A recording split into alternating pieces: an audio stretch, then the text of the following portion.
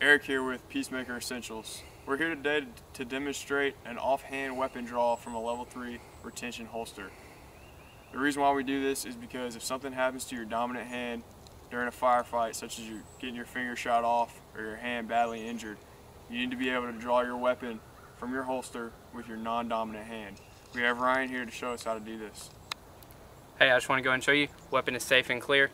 All right, so the first thing that you want to do, um, if you're small enough to where you can just reach it and grab it without any issue, great. If not, some people, what they have to do is take their belt and jerk it a little bit towards the middle of their body so they can reach their weapon with their offhand.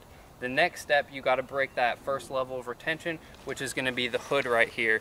You wanna push down with your thumb and in front of your body. And then as soon as you're done doing that, you wanna come back over to this locking mechanism and you wanna push it back. At the same time, you wanna lift out of your holster and tuck it in your arm. Once you do that, you wanna be able to flip it around and some people may say right here you can draw from it but you don't want to do that because look how bad my grip is right here my grip is terrible if I try to shoot like this I'm gonna end up with some kind of malfunction so I want to re-grip get really a high purchase on the gun come out and then draw and then engage the threat